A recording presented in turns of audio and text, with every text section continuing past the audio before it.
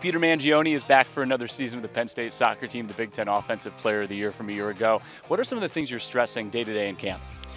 Uh, I think the, one of the biggest things for us is getting off to a good start. Um, we talked about it um, as players and, and, with the coaches. We want to want that want to know mentality. So we want by the time Rhode Island comes around, where you know that's that's like our Big Ten final. And then once that's over with, and the next game is all that matters. So I think obviously starts with preseason, but um, every training session we want to come in focus and have a good start, so we start well. Take me through what is a normal day like during this time of year.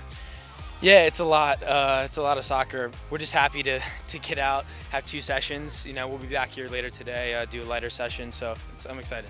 Obviously, offensively, you guys were really dangerous last year. What kind of puzzle pieces do you return this year that you think makes the team dangerous again?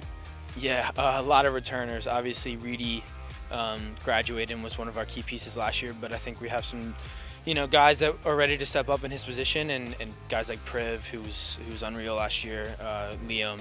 Got some guys like Ben Liscombe going to come to the fold this year. Van Danielson, um, Seth is obviously can score some goals. So, you know, yeah, we lost Reedy, but we're not worried about it. We feel like we're um, we got a lot of firepower up there. We know we can score goals, so um, we're super excited. What do you want to accomplish now from today until you guys kick off, not only in the scrimmages, but against Rhode Island? Yeah, uh, I just, like I said, uh, that mentality of, of taking it one game at a time. I think last year we obviously did really well in the Big Ten and stuff, but we had some um, some dropped results against some out of conference teams, especially you know the first game of the season last year we tied. So we want to put that right. I mean, I think we don't want to come out and tie. We want to win right away. So that's that's in our minds, and obviously the way that last year ended, you know, we want to. It's a chip on our shoulder. So yeah, we just want to start start strong and just keep it one game at a time. Peter, have a great year. Yeah, appreciate it.